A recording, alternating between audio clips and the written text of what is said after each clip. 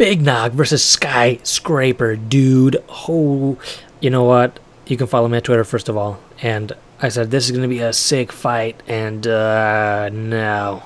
So you can't you can't uh, predict what the hell is gonna happen in MMA. I'm telling you. First round, Big Nog basically just pushed him up against the cage and was trying to take him down. Nothing too exciting. He was landing on Struve too. I'm like, Struve has no head movement. Everybody in the world knows that, and for him to come out of the famous Dutch kickboxers, I mean, uh, he's seven foot, so I mean, I, I guess you got to put that into consideration. But he has no head movement. He could have been KO'd, and he has been KO'd because he actually absolutely has no head movement.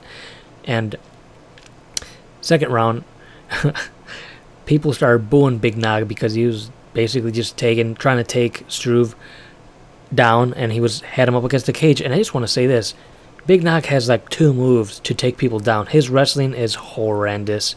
He clinches with somebody, takes him up against the cage, tries to do a toe sweep, whatever foot sweep, and then take him down. That's all he basically tried to do to take Struve down. Second round though, Struve was actually and before I'm I'm sure you guys have seen the interviews. He said, "In this camp, I have been training to keep my distance and utilize my reach. And he actually did that in the second round, lighting up Big Nog. Third round, more of the same as the second round, except he was landing big shots on Big Nog.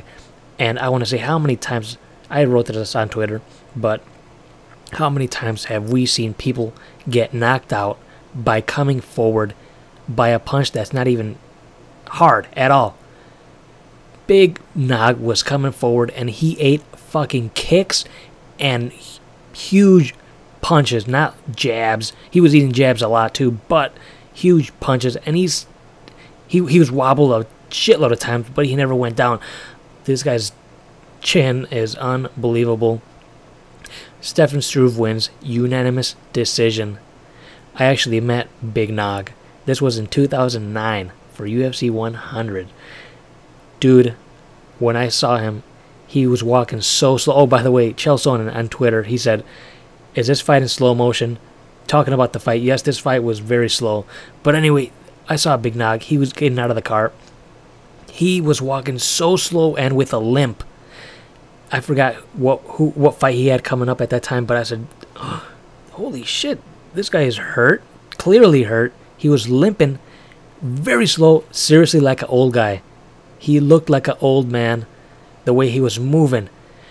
But everybody knows this, especially if they've been watching this for a long time. When it's even when his walkout is slow, but as soon as he gets in the octagon, it's like he musters up all of his energy into the fight, and he finds ways to win, but not this time. But I'm just still very surprised that he's managed to maintain such a, a incredibly long career because his fights have not gone the way like Ronda Rousey's fights have gone. They have been brutal.